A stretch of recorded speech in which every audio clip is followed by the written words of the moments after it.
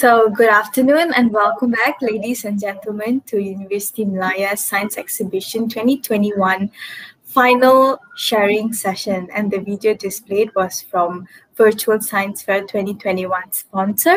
And we would like to extend our sincerest gratitude towards Kenanga Investors Berhad for your sponsorship for VSF's science exhibition. And ladies and gentlemen, once again, on behalf of the organizing committee, I would like to welcome you to University Malaya Science Exhibition brought to you by Virtual Science Fair 2021. I am Thainmoli Sekaran and I will be hosting the event today and I have been doing so far. And we're currently in our third and final session and we have a very interesting sharing session coming up by Mr. Shafiq about a final year presentation associated with biotechnology. And so again, thank you, Mr. Shafiq, Roslan, for taking your time to be a part of our event today. So Mr. Shafiq here is a biotechnology student at the University of Malaya. And without further ado, I would like to invite Mr. Shafiq to talk about his field of expertise. And the virtual stage is all yours, sir. Thank you, Thainmoli, our lovely MC for today. So let me first um, share my screen.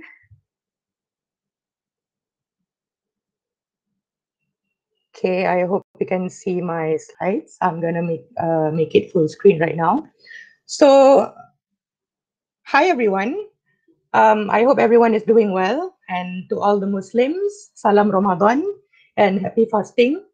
My name is Muhammad Shafiq bin Roslan. I am a fourth year Bachelor of Science in Biotechnology student at the Institute of Biological Sciences, University of Malaya.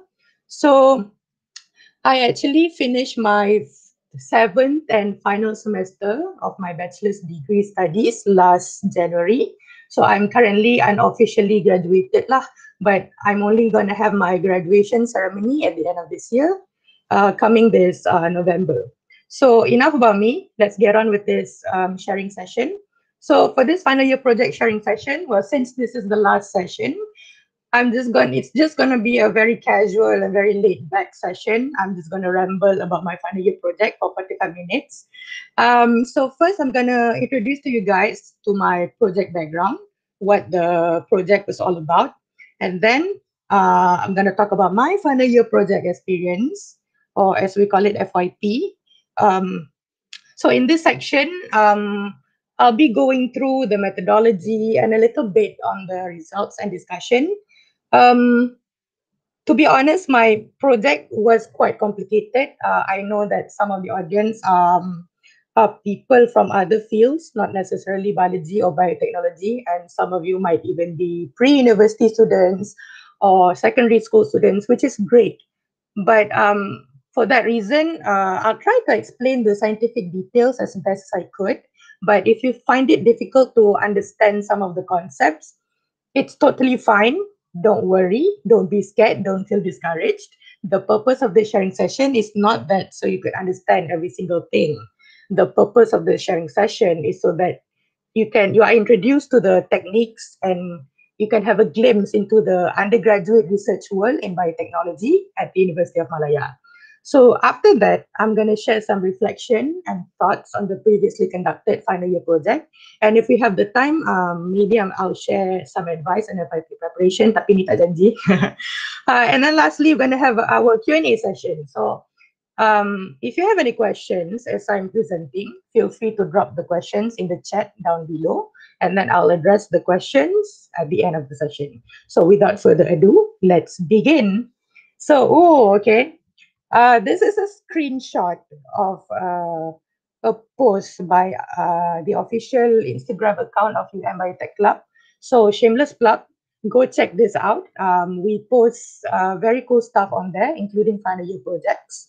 So my final year project was titled Identification of Genetic Polymorphisms in NF-kappa B in Heteractis magnifica Sea Anemones in Peninsular Malaysia. So there are a lot of facets. There are a lot of areas in biotechnology. You know we have animal biotechnology plant biotechnology um, bioprocess technology post harvest technology and so on. So my final year project is more on the um, molecular genetics side of biotechnology, where uh, we study DNA uh, on marine organism, which is the sea anemone. So let's look at the caption here.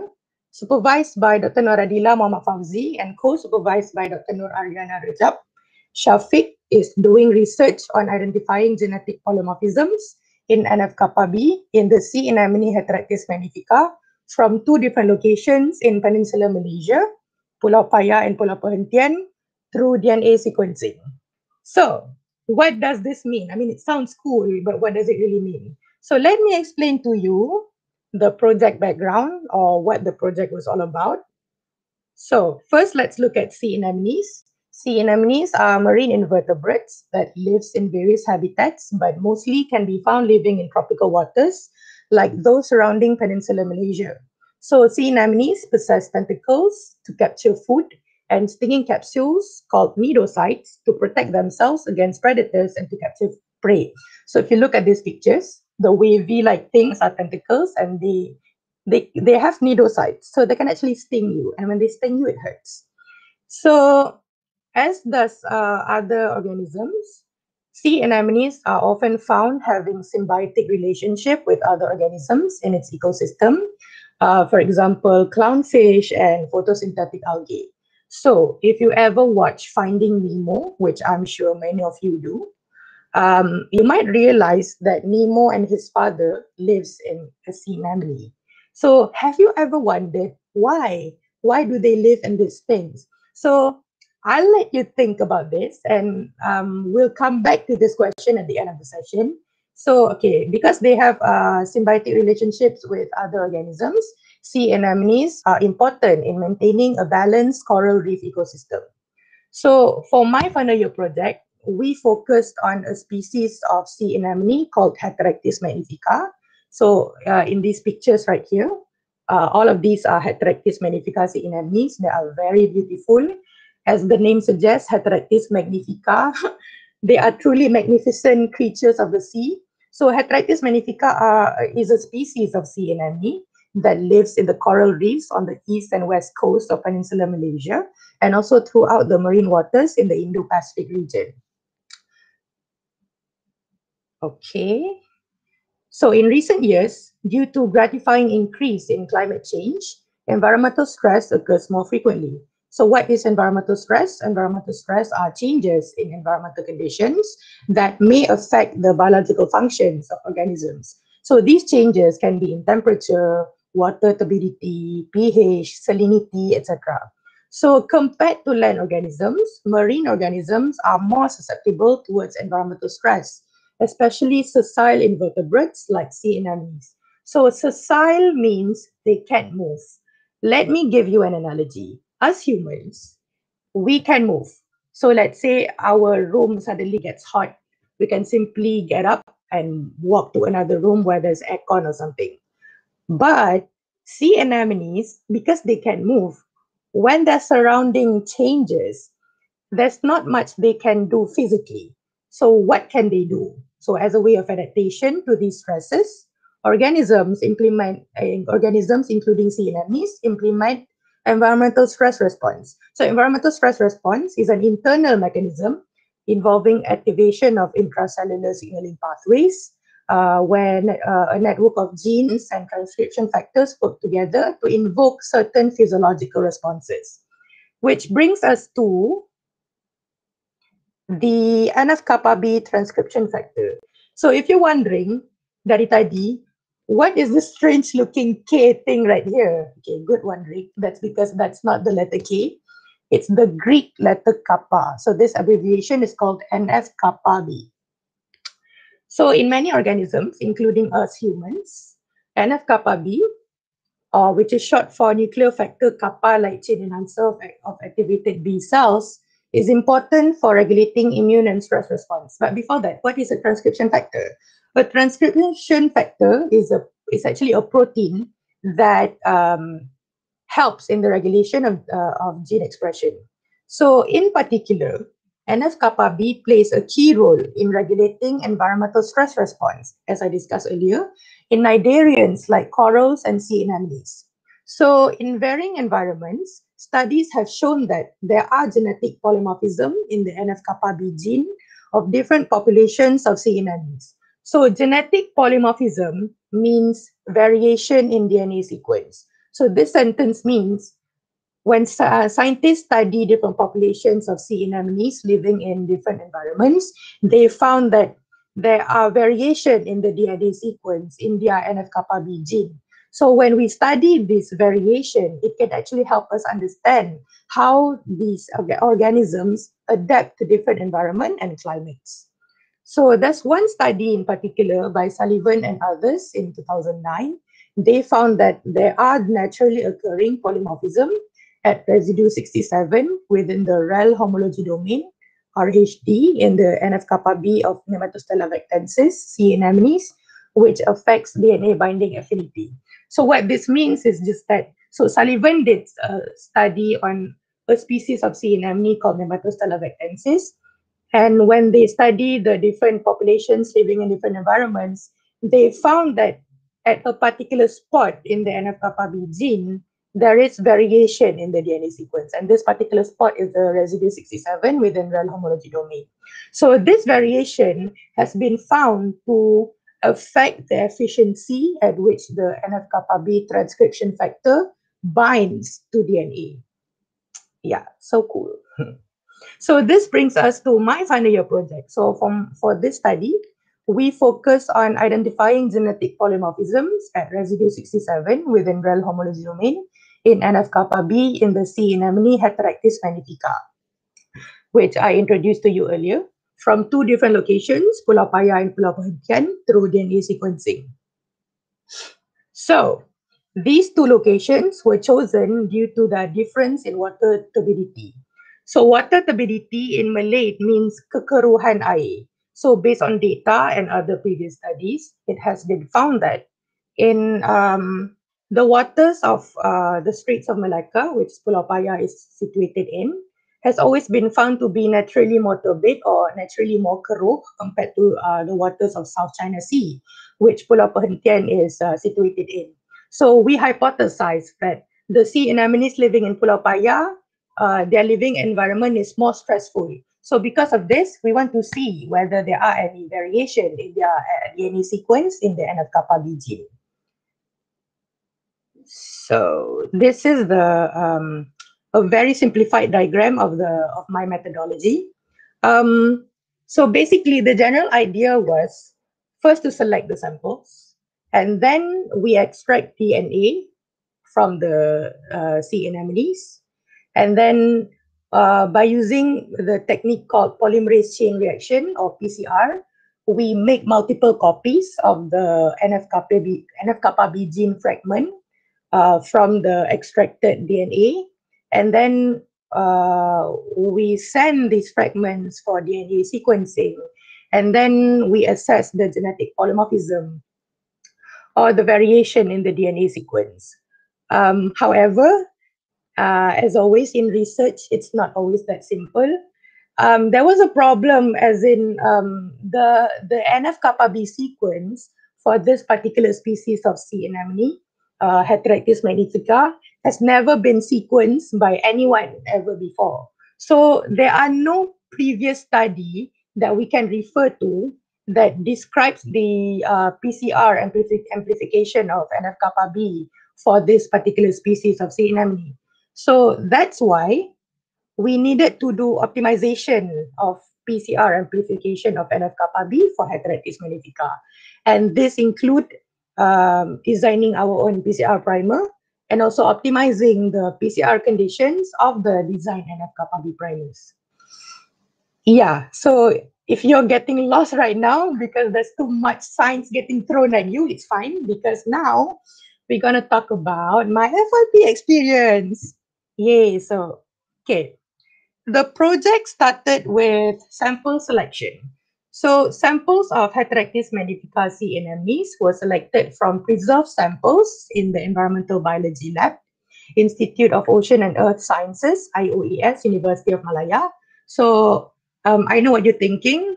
Did I go diving to collect the samples at Pulau Paya and Pulau? No, I didn't.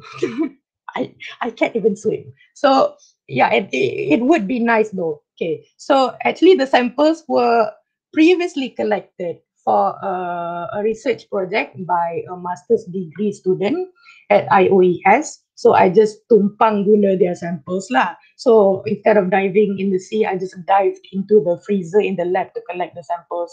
So a total of 20 individual samples were selected 10 samples from Pulau Paya and, and 10 samples from Pulau Perhentian. So in this raga oren right here are the sea anemone samples. Um, so when when they went sampling, they cut a portion of the tissue and then they placed them in these glass vials right here. So in this uh in this like uh jar thing right here are the anemone samples lah. So next, we carried out DNA extraction on the sea anemone samples.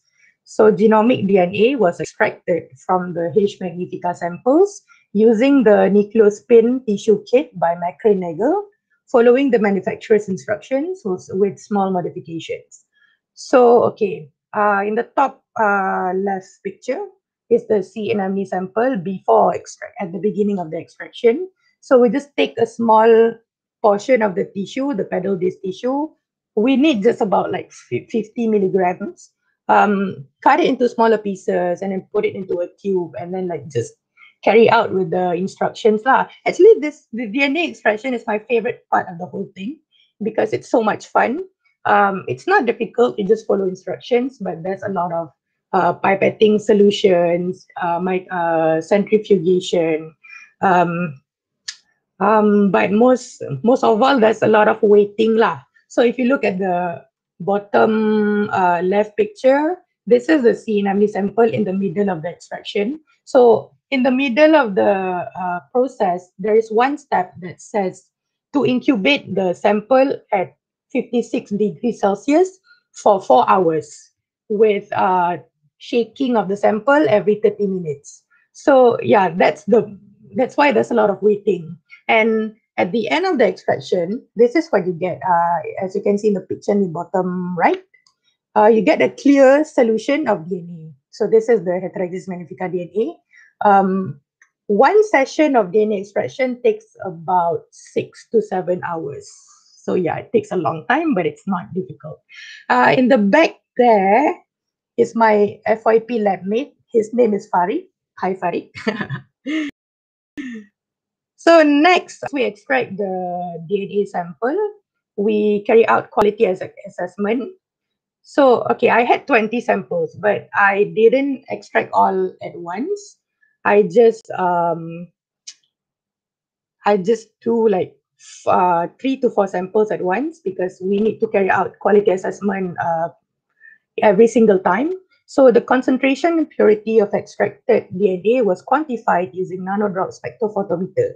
So uh, if you look at this picture in the top right corner, this is uh, this monitor shows the nanodrop reading of the concentration of the sample uh, concentration of DNA in the sample, and also how pure is the DNA, whether it's pure DNA or there's any impurity in the sample.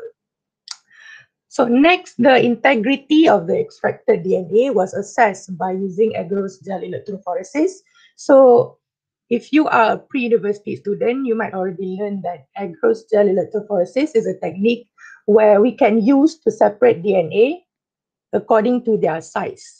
So it can also be used to check the integrity of extracted genomic DNA. So let's look at this uh, gel picture right here. So for samples PE7, PE9, and PE10, these are good because there's one clear band at the top with some smearing, which means that um, most of the genomic DNA is still intact, but so, uh, some are fragmented. For which, for my purposes, it's fine. But for samples P5 and PE6, it's not good because there's no one band, um, just some slight smearing in the middle there, which you can barely see. So these samples are not good lah, and we might have to extract again. So once I extracted the samples, I made a spreadsheet containing all the uh, all the details of these samples. So I included the concentration, the purity uh, readings, uh, so that it's easier for me to keep track of the samples. So extracted DNA was then purified using GeneMatrix PCR DNA cleanup purification kit. So this purification step is necessary to um, eliminate any residual uh, impurities from the DNA sample. So next is the so next step is the optimization of PCR amplification of NF-kappa B in Heteractis magnifica. So okay, sekejap penat. okay, um, this step um, is actually a huge part of the project. Um, okay, to be honest, this uh, this part onwards is kind of complicated, but I'll try my best to explain lah. So this step involves three three phases. The first phase is PCR primer design. So okay, uh, PCR or polymerase, polymerase chain reaction is a technique that can be used to make multiple copies of DNA fragments. So in PCR reactions, you need a few things. You need your DNA template, you need your uh, DNA polymerase to catalyze the amplification, and you also need your PCR primer. So PCR primers are short sequences or short DNA sequences, about 20 nucleotides, which you can actually see in this top top picture right here, Sullivan reverse primer, and okay, this is the this is what a primer looks like lah. So, so in PCR reaction, so uh, PCR primer, their role is to recognize the spot on the DNA template where you want to make multiple copies of, and it binds to the DNA template. So in PCR reactions, uh, primers works in pairs. There's forward primer and then there's reverse primer. This is because, as we know, DNA, DNA is double-stranded. So forward primer will bind to one strand, and then the reverse primer will bind to another strand, and then the DNA amplification begins from there. So yeah, that's about PCR primer. So in designing PCR primer, um, it's best if we can get the PCR to be specific to the DNA template. This means that the, the sequence between the PCR primer and the DNA template is similar or almost exactly similar. But this is hard to do because we didn't have the NF-kappa B sequence from the specifically from Heteractis magnifica C anemone. So what we had to do is we did multiple sequence alignment, as you can see in the top picture, uh, of NF-kappa B sequences from Nematostella vectensis, which is the sea anemone species that Sullivan worked on, as well as several species of sea anemone, uh, uh, uh, Actinioidea as Heteractis magnifica, using MegaX software. So this is so that we can find highly conserved regions for designing PCR primers. So if you look at this alignment right here, so this like A, G, C, G thing right here is uh, uh, the DNA bases. So you can see that some of some regions are the same across all five uh, sequences. So these regions are prioritized while designing the primers because theoretically, when these regions are the same in this alignment, there is a high chance that it is also the same in Heteractis magnifica, which we don't have the sequence of. So the primers were designed using Primer, Primer 3 Plus software, which you can see in the uh, left here, this picture. So it looks fancy, but it's just a website which you can find on the internet. Uh, it allows us to design primers from uh, DNA sequence. So you just put your DNA sequence right here in this box. I just use one, uh, I just use one of the sequence from the alignment and then you can specify the excluded region, the target region, the included region, and then you click pick primers and then it will design the primer for you. So uh, this process, there's just a lot of trying, trial and error. La. You, you have to try different things and see what works and what, what not. So once you design, once we design the primer, uh, the characteristics and quality of the design primers were assessed by using net primer software. So this is the software in the bottom left picture right here. It is also a website which you can find online. So you just put your primer sequence and it has algorithm whereby it does calculations on several parameters that allows us to assess the quality of the primers. which is very cool. I don't know how they do that actually. so a total of 25 sets of primers were designed and assess in terms of their estimated annealing temperature, feasibility of primer-dimer formation, and also the placement of the primers on the reference NF-kappa B sequence. So um, the, the annealing temperature and the feasibility of primer-dimer formation can be assessed through the NET primer software. I would like to highlight the feasibility of primer-dimer formation. So primer-dimers occurs when the primers, instead of binding to the DNA template, it instead binds to themselves or with other uh, other primers. So this is bad lah because once this happens, there's there will be less DNA amplification because the primers didn't bind to the DNA template. So um, the net primer can actually give a reading that allows us to assess the how likely it is for primer dimer to form. So uh, in the top picture right here is another spreadsheet that I made containing details of all the design primer sequences uh, along with the like uh, quality assessment and I give consensus to each of the design primer whether they are good, whether they are not. If it's really, really good, I would say amazing, like that. So after assessing the quality and the characteristics of the design primers, two primer pairs were chosen to be used for PCR.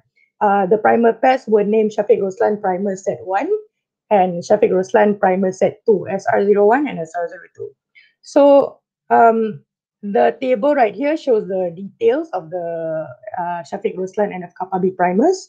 And at the bottom right picture is the placement of the primers on the reference NF-kappa B sequence, which in this case is the NF-kappa B sequence from the Nemat Nematostella vectensis sea anemone. Okay, so the next phase is the evaluation of viability of extracted H. magnifica DNA for PCR. So before we actually go forward with uh, PCR for the using the uh, design NF-kappa B primers, we must check first whether the extracted DNA can actually work for PCR. So this was carried out using mitochondrial cytochrome C oxidase subunit 1, CO1 primers. So for this uh, optimization, I extracted 20 samples, right? So I only used like three and kept it consistent throughout uh, because uh, at this stage, we're just trying out different things. So PCR assays were carried out using different uh, volumes of DNA per reaction. We tried out 2 microliter and then 4 microliter, and also tried out using purified and unpurified Heteractis magnifica DNA. So let's look at these gel pictures right here. We can actually see a stark difference, a significant difference between using 4 microliter DNA uh, compared to 2 microliter DNA. And uh, I don't think you can see that much, but uh, using purified uh, uh DNA actually yields brighter bands compared to unpurified uh, samples. So in conclusion, PCR using 4 microliter of purified DNA yielded the brightest bands. So that's why this condition is used for further PCR assays using the NF-kappa B primers which I'm going to talk about now. so yeah, the optimization uh, using NF-kappa B primers was carried out using primers from Sullivan and others, 2009, as well as the Shafiq Roslan NF-kappa B primers, S1, SR01 and SR02. So this was done by testing out various thermocycling conditions. So if you look at the top picture, this um, hand-drawn diagram right here is the one of the thermocycling conditions that we try out. So I want you, I want to shift your attention to the the middle of the diagram, the 55 degrees Celsius. So that uh, is the annealing step of the PCR. PCR has three steps: denaturation, uh, annealing, and the elongation. So the annealing step is the temperature at which the PCR primers bind to the DNA template. So we mainly kept the denaturation and the elongation temperatures constant. We played around only with the annealing temperature. It's either 55 degree, uh, 60 degree, etc. So from the PCR assays that were carried out, we tried out various different things. Multiple fragments were amplified, as can be seen in the gel pictures. Uh, each of them with different sizes and intensity.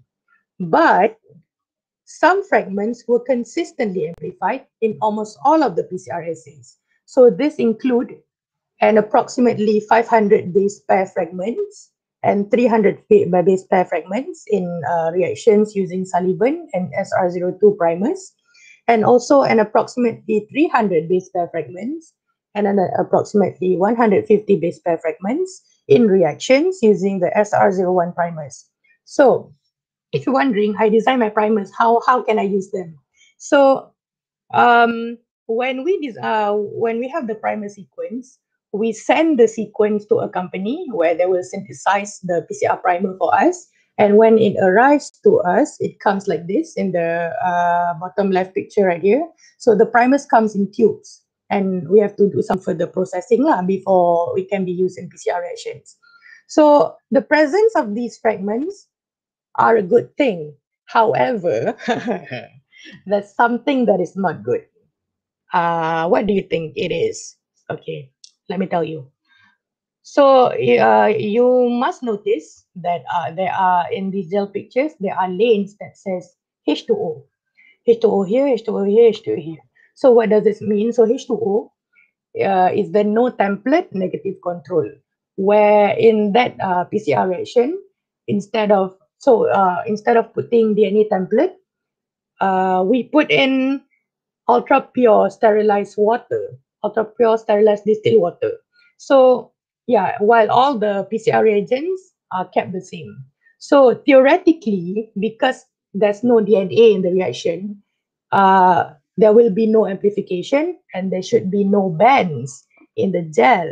But oh, you can see that some of the gel some of the lanes, uh, some of the H2O lanes has some bends. So this is not good because the presence of bends in the water control signifies the presence of contamination. So once you have bends in your water control, no matter how good your other lanes are, how good your other samples are, how pretty are your other bands, it kind of invalidates the whole thing. So yeah, that's why uh, we carry out PCR assays to figure out the source of contamination. And this step includes uh, doing resuspension of PCR primers, using different sets of pipettes and tips, using different sets of PCR reagents. We even go as far as conducting PCR at a different laboratory. So this actually can be seen in the top uh, left picture right here. So this is PCR using Gendler CO1 primers and NF-kappa B primers at a different laboratory. That's why the gel picture is looking so weird. So, okay, let's discuss this. Uh, this is SV is Sullivan primer. So the H2O has bands. Uh, SR02 primers, the water control also has bands. But for CO1 primers, the water control has no bands. It's so clean. So this means that the Sullivan and SR02 primer tubes were contaminated. Hmm, mystery solved. So because of that, subsequently, we carry out PCR using the SR01 primers. And we found that based on, if you look at these gel pictures, there are no contamination. The, the H2O lanes were both clean. So that's really good. And then uh, there are amplification of uh, an approximately 300 base pair and 150 base pair fragments. As you can see right here, uh, which is similar to the one uh, in the PCR assays uh, earlier that I showed you. And when we increase the annealing temperature to 60 degrees Celsius, the bands becomes much, much brighter. So these bands are like very thick and juicy and these are like the prettiest PCR bands that I have ever seen in my life. So that's why uh, using the SR01 primers at this annealing temperature, uh, we, uh, we chose this condition for future work involving sequencing and assessment of genetic polymorphism. So the plan was to extract these fragments, these bands right here. Uh, we do this by actually cutting the gel using a blade. I'm not kidding. Uh, cutting the, the fragment that we want and then purifying it using a kit. and then uh, this will be sent for sequencing. So instead of having uh, multiple bands uh, in one lane, uh, it can be separated. so when we run on another gel, it uh, it becomes uh, in two different lanes, which which will be easier for us to send for sequencing lah. Okay, so that was the plan. the the PCR using SR01 primer at 60 degree uh, annealing temperature uh, uh, were chosen for future work. But then this happened. okay, yeah. So because this happened, uh, we had to stop all of the lab work. Everyone in uh, my, uh, even my friends uh, uh, had to do the same. So all lab work has to be discontinued. Uh, we had to stay at home and abide by the Perintah Kawalan Pergerakan so how how do I finish my final year project? I mean, even though we can't continue with the lab work, we still have to finish writing the thesis, right? So let's take a look back at this diagram right here. So the top three uh, steps were pre-MCO, and then the post-MCO, I didn't get to do the the uh, the last three steps lah, which is the PCR, of the targeted region in NF-kappa-B, which are using the SR01 primers on all 20 samples that I extracted, and then do gel extraction and purification. And then finally, barulah uh, we can do the DNA sequencing and assessment of genetic. Uh, polymorphism.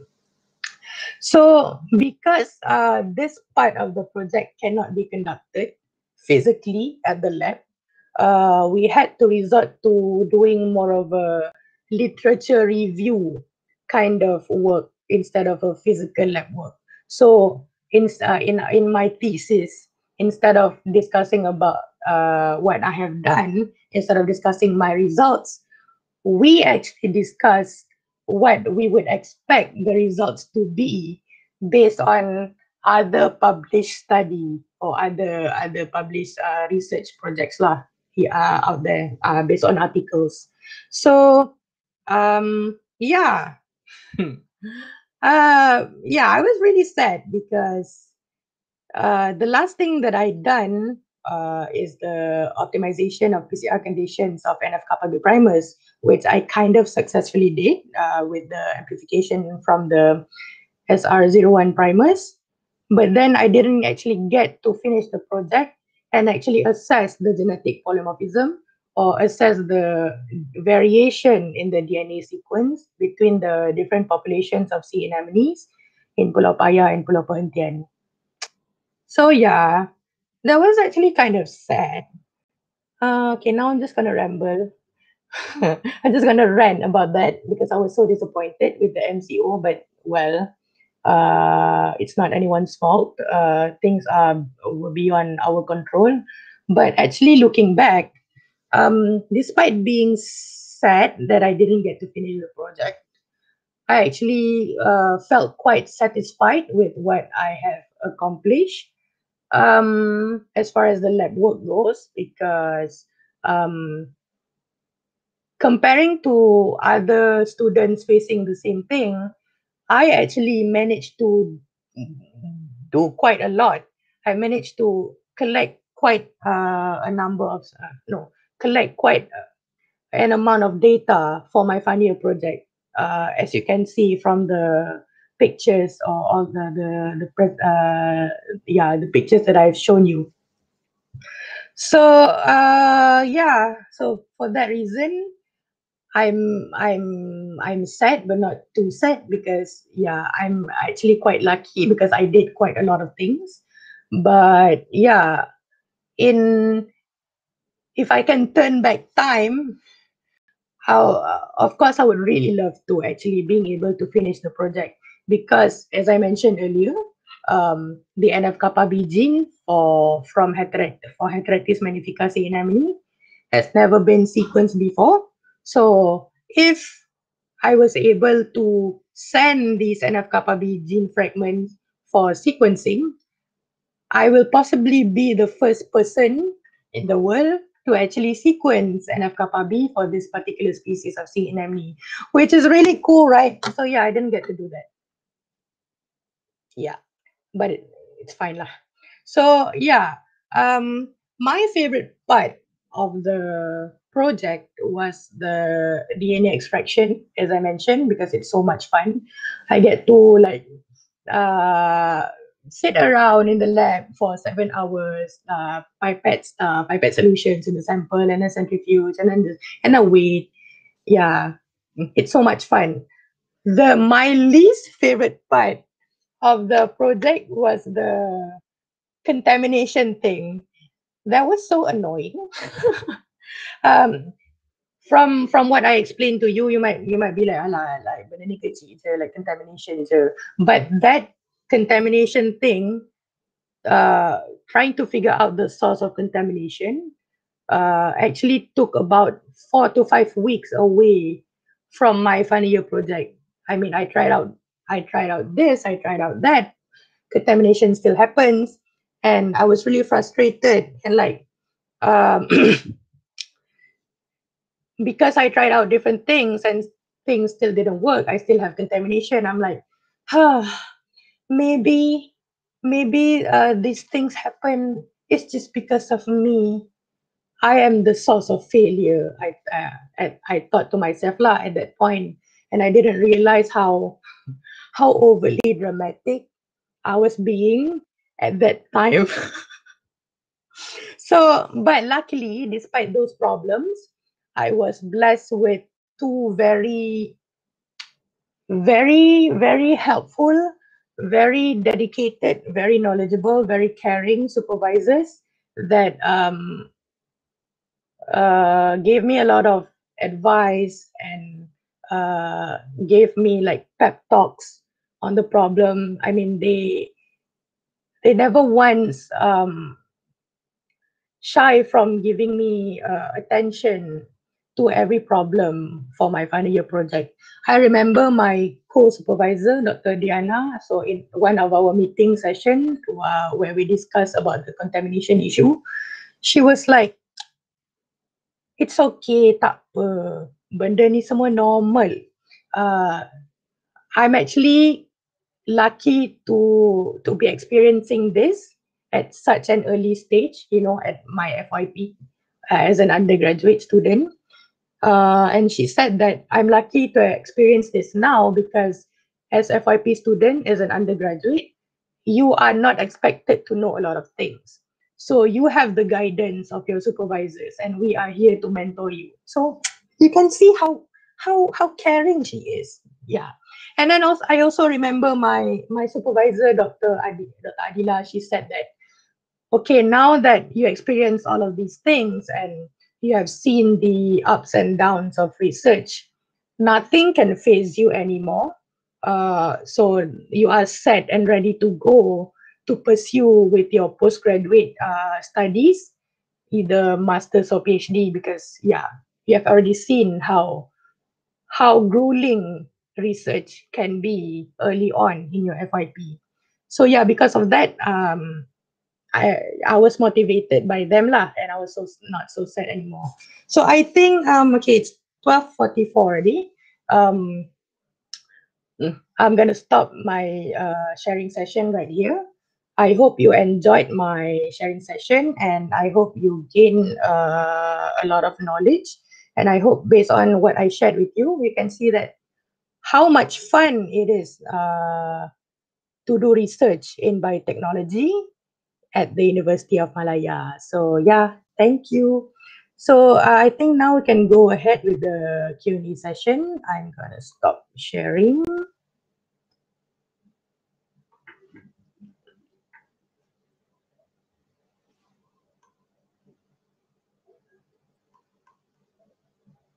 Okay, question by Fikri Hakimi. Do anemones have genes re rearrangement in the B cell?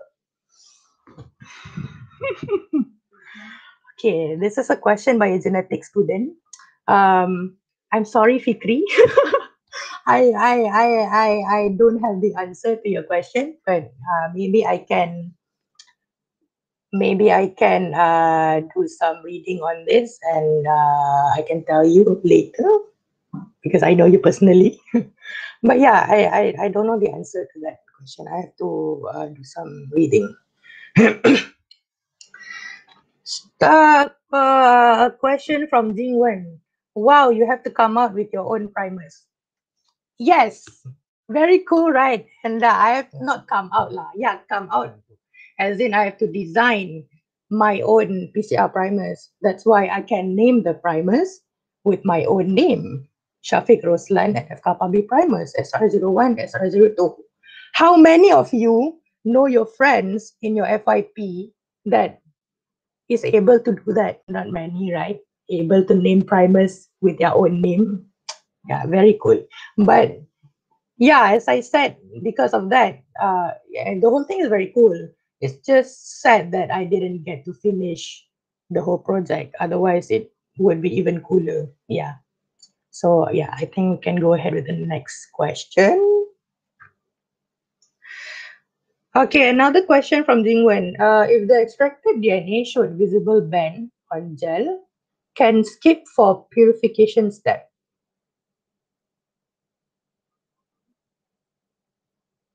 Mm, um, actually, the purification step, I yeah, it is actually still necessary, even though uh, uh I think you misunderstood what I explained uh, in the slides.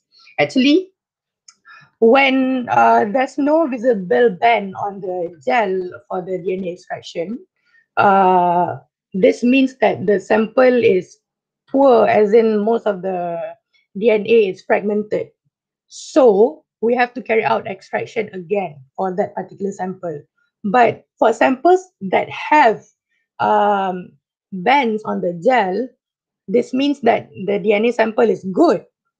They are good uh, to be used for PCR. But then, uh, because the uh, DNA is still uh, intact and not fragmented, however, purification step is still needed because even though this DNA is intact and is in good in, in terms of the integrity, it still may contain some impurities in the sample. And these impurities can be like uh, PCR inhibitors or some remainder of proteins, which this is not good for PCR. So that's why uh, purification step is still needed. Okay, I hope that answers your question. So next question. Another question by Fikri, a genetic student in the Mega Megakan. Which outgroup source did you use? Fikri, I don't know what outgroup source means. What what does it mean? so okay, that's the thing about biotechnology. Uh, we biotechnology encompasses a lot of areas. Um, so because we study a lot of things, there's kind of like mix and mix and matches of things. So we so as I mentioned, my project is more on the molecular genetics side, but I I didn't um, study genetics uh, extens- extensively. So I just uh, use some of your techniques. So there are there may be some uh, some things that I'm I am not familiar with, and I'm, I apologize for that. But yeah, I, I, I don't know how to answer your question. I'm so sorry. yeah, but yeah, I will look up on that and I will uh, I will I will I will I will try to answer that. So next question.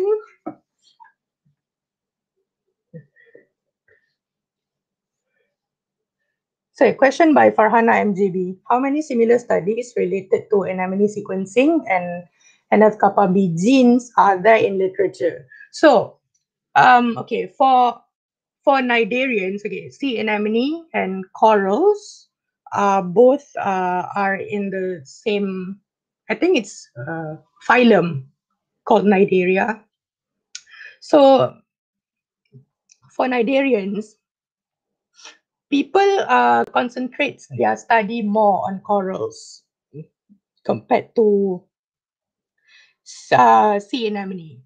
So because of this, I, I'm not sure why, maybe because um, I mean, they are both important ecologically, but yeah, for uh, studies has been concentrating more on coral. lah. So for sea anemones, um, to be honest, there's not much uh, related studies that we could find that uh, relates to sequencing and NF-kappa B genes. There are a few, but very limited. Uh, actually, this is quite a problem when uh, I'm trying to find references to support my, the discussion part in my thesis. Uh, so we had to resort to just a few, a few paper lah that discuss that studies about this topic. Uh, and then, even then, as I mentioned, uh, even if there are studies on sea anemone regarding sequencing and NF-kappa B gene, uh, most of them are on another species of sea anemone, not Heteractis magnifica. Yeah. So well, when I do my study on Heteractis magnifica, magnifica specifically, it's it's actually quite difficult lah because there's no references that I can refer to. Mm. So next question. Oh, so a question by Anushri Sambantan. Hi, how was it made sure that the only stressor present was water turbidity and not other stresses such as temperature, pH, and salinity? Very good question, actually. So actually, of course, in in their environment, other uh, other stresses can also um, uh, be a role in uh, in uh, affecting their environment.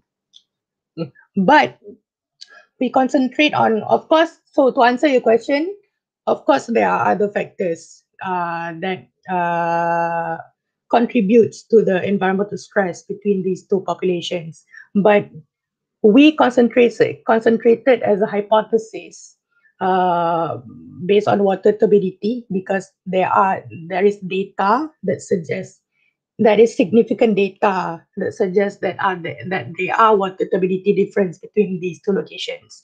Other factors such as temperature, uh, pH, or salinity, based on data, maybe they they are they are there are some difference, but there's not so much difference between these two locations. Water the, the uh, turbidity, uh, the difference is quite uh, significant. So that's why lah. And um, uh, and also because there are other paper or there, there are other studies out there that suggest uh, that water turbidity is a huge uh, factor that uh, contributes to the uh, difference in their environment. So yeah, I hope that answers your question. Next question by you, okay, by uh, someone with just a matrix number how are you intending to expand your expertise in the field after you graduate? Oh my god, okay, this is this is kind of like a soalan cepu mas. So yeah, okay, to answer your question, okay, this is the last question. Okay, okay.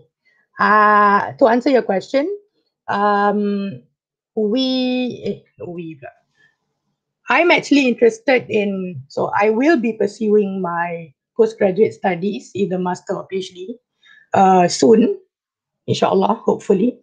So I am interested in doing uh, molecular biology or molecular genetics kind of research on marine or no, not marine, on animal samples. So yeah, that's how I how we, I intend to expand my expertise lah. So uh, so for this final year project, I work on marine organism, uh, which is the sea anemone. So if you if you if you search on Google, sea anemones are actually also animals. They are in the kingdom Animalia. They're just in a in a in a different phylum than other animals. So I um I don't limit my uh, um, I don't limit myself to study on marine organisms only. I, I am also interested to work on other animals, uh, especially domestic animals such as goats, sheep, cow, chicken, etc. But I'm interested in doing molecular genetics kind of work. Lah. Yeah.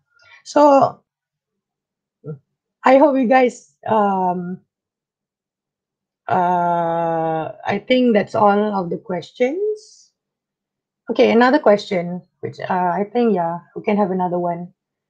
Can ecologists major in biotech too? Sure, why not? As I said, biotech is a very uh, it's a very broad field. It encompasses many different areas. So if you have if you have your um, if you majored in ecology and you want to further your studies in biotechnology, uh, actually there's quite an overlap actually between the two fields and I can't see why not you want to major in biotech. Yeah. So I think that's all for the questions. Yeah. Thank you guys for listening. So I think this concludes the sharing session uh, and I will let Tenmeli uh, take over. Thank you guys. Great, Shafiq. Thank you so, so much. Uh, wait, hold on. Oh, thank you very much, Mr. Shafiq, for a very fruitful presentation about biotechs and its fi- your final year project. Many useful tips and tricks you've given the audience, and I hope it will come in handy for many potential biotech students in the nearest time to come. So, Mr. Shafiq, would you like to add a couple of things before we end the session today?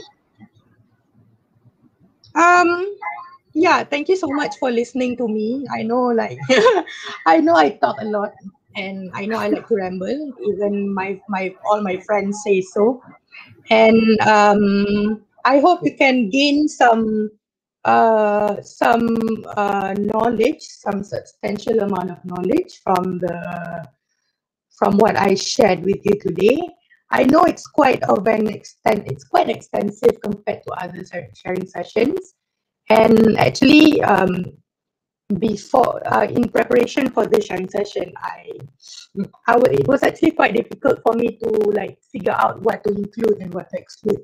But then i thought to myself if i leave out the complicated things just for the fact that it's uh, it's going to be difficult for people to understand then what is the purpose of the sharing session right? So we have to share the complicated things so that people can learn. If they don't understand um, everything straight away, it's fine because Google is your best friend, right? So yeah, that's all from me. Thank you guys. Great. Thank you so much. And once again, thank you for your time and the effort you've put into your presentation today and all the your personal experiences you've shared with us alongside the, your final year project as well. And as for the audience, thank you so much for tuning with tuning in with us. Uh, we humbly thank you uh, for having you throughout the uh, science exhibition and once again kindly fill up the feedback form uploaded in the live stream chat because your response will be counted in choosing the winner for best presenter so um, thank you to the audience for having the constant curiosity to learn more about the academic opportunities provided by the student bodies in University Malaya. The organizing committee is very grateful for your presence throughout the commencement of Virtual Science Fair Science Exhibition, and we truly apologize for any technical glitches occurred throughout the event. I would also like to thank our sponsor again, Kenanga Investors Berhad, for sponsoring a very youth empowering educational event and knowledge is never wasted. And I hope all of us are always filled with curiosity to learn more and more every day. Till we meet again, this is Tenmeli Segran signing off. Take care, everyone. And as for Mr. Shafiq, uh, we're going to have a quick photo session. So your brightest smile so we can get a great picture as a team.